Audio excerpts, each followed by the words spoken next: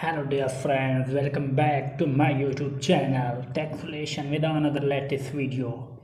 In this video, I am showing how to delete Cameo on Snapchat.